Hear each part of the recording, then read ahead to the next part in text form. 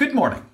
It is very important to identify which object or objects are a part of your system because the objects which are defined as the system determine how work and energy are related. Flippin' physics. Let's start with an example to show this. A block which is attached to a spring slides up an incline. That's it? Yep.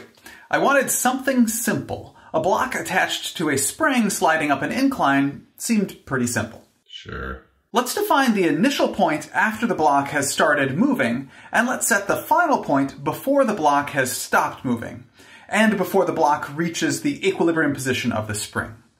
And let's set the horizontal zero line at the bottom of the incline. That way the block is always above the zero line. Mr. P, Yes, Bobby? that seems weird. You, usually we choose initial and final points so that at least some of the energies are zero, which makes the problem easier. Right. I've set our initial and final points and horizontal zero line such that the block will always have kinetic energy and will always be above the horizontal zero line. I do not want any of the energies to be zero at either the initial or final points because I am trying to help you understand how the energies are related to work.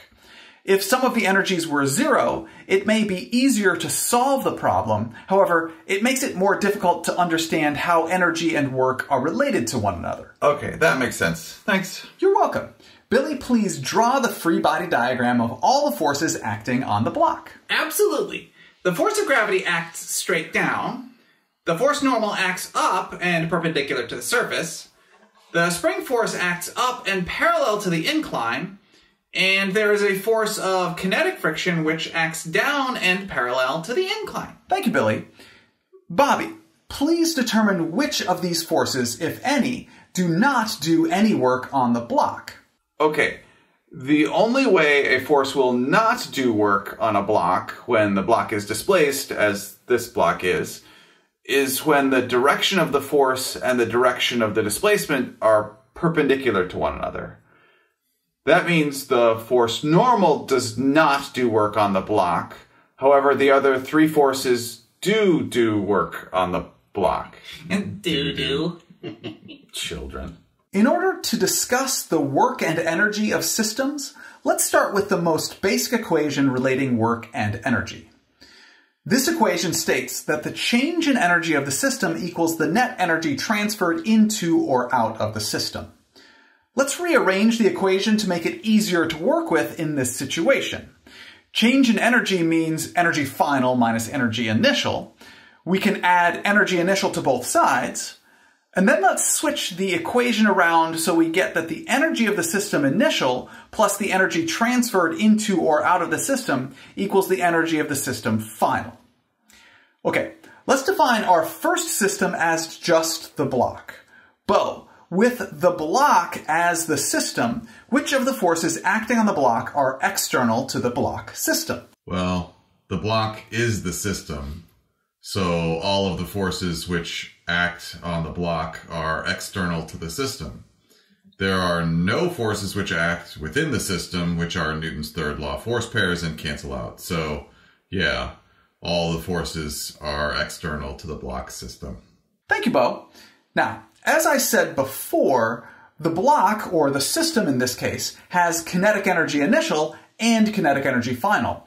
However, the block does not have gravitational potential energy. Hold up, Mr. P. Yes, Bo? The block is clearly always above the horizontal zero line, so the block clearly has gravitational potential energy initial and final. Does it really?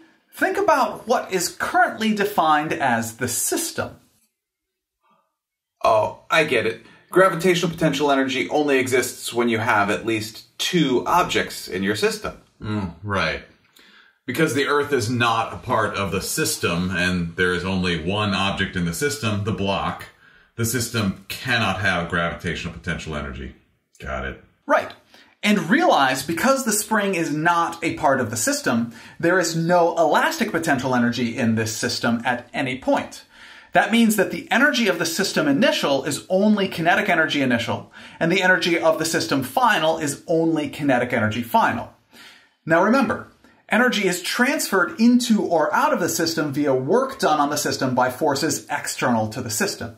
In other words, the energy transferred into or out of our block system is equal to the work done by the spring force, the work done by the force of gravity, and the work done by the force of kinetic friction.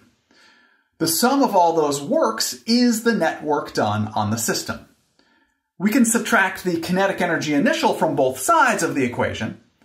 Kinetic energy final minus kinetic energy initial equals the change in kinetic energy, and we are left with net work equals change in kinetic energy, which is the what class?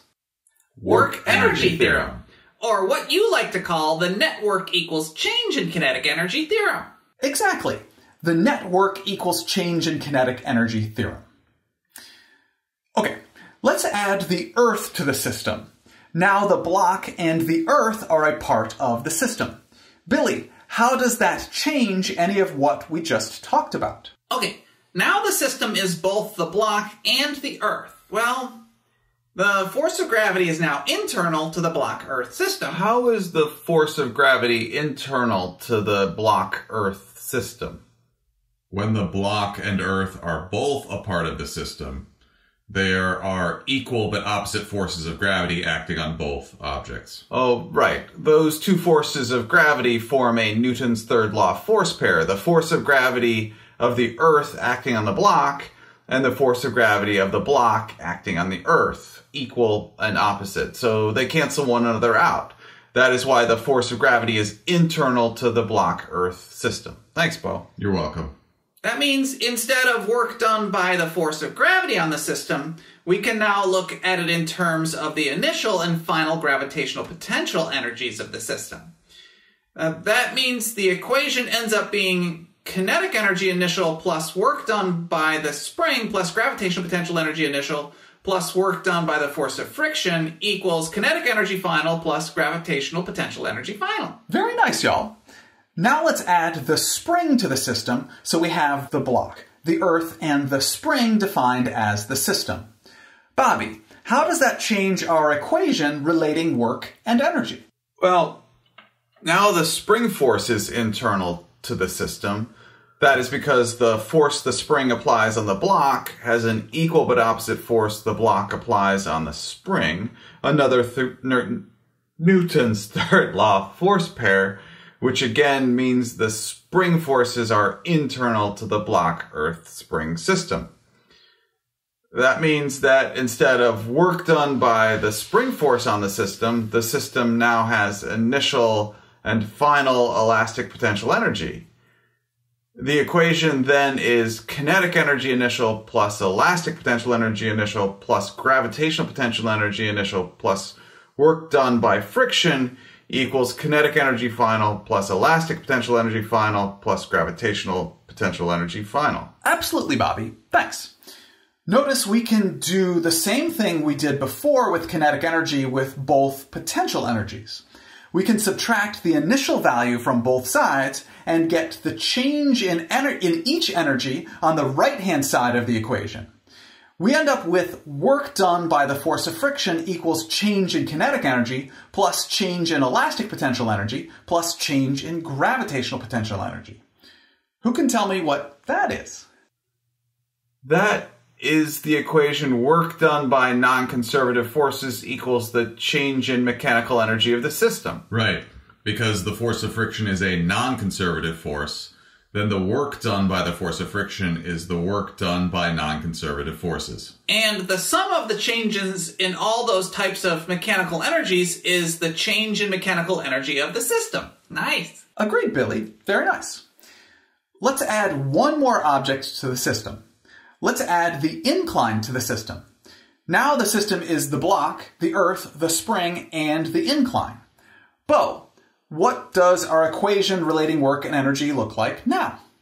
Well, the force of friction is now internal to the system because there is a force of friction acting from the surface on the block and an equal but opposite force of friction acting from the block on the surface. Again, those two forces form a Newton's third law force pair and are internal to the system. That means that instead of work done by the force of friction on the system, the system now has initial and and final internal energy. That means our equation relating work and energy for the block, earth, spring, and incline system is kinetic energy initial plus elastic potential energy initial plus gravitational potential energy initial plus internal energy initial equals, well, the sum of the final values for all of those types of energy. Thank you, Bo. Uh, Mr. P, Yes, Billy? if we subtract all the initial energies from both sides, we get that the sum of all those changes in energies equals zero. Does that make sense? That is a good question, Billy. Does it make sense? Uh, actually, it does. How? Uh, it just means energy is conserved. When you include everything in your system, like we have done here with the block, the earth, the spring, and the incline, you get conservation of energy because energy is neither created nor destroyed. It just changes forms. Actually, this is just a restatement of the equation we started with. The change in energy of the system equals the net energy transferred into or out of the system. But there is no energy transferred into or out of the system because the system contains everything. So the change in en- energy of the system equals zero. I agree with that. Okay. Remember that the work done by the force of friction goes into the system as internal energy. In other words, the work done by the force of friction equals the negative of the change in internal energy of the system. And both the force of gravity and the spring force are conservative forces. Billy, what is the equation that relates work done by a conservative force and potential energy associated with that force? Oh, um, it's, um, oh, it's, uh, work done by a conservative force equals the negative of the change in potential energy associated with that force. That means the work done by the force of gravity equals the negative of the change in gravitational potential energy, and the work done by the spring force equals the negative of the change in elastic potential energy. Right. Therefore, if we take the equation we just ended with, move the changes in internal and potential energies to the left-hand side, and replace all the negative changes in energy with work, we return to our original network equals change in kinetic energy equation, and we are back to just having the block as the only object in our system, which is pretty much right where we started this lesson. Okay.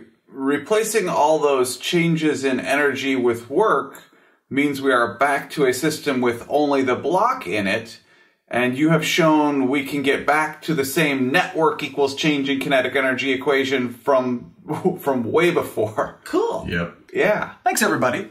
Hopefully that helps you see the importance of identifying the objects which make up your system and how the objects in your system affect work and energy equations you include in your equations relating work and energy.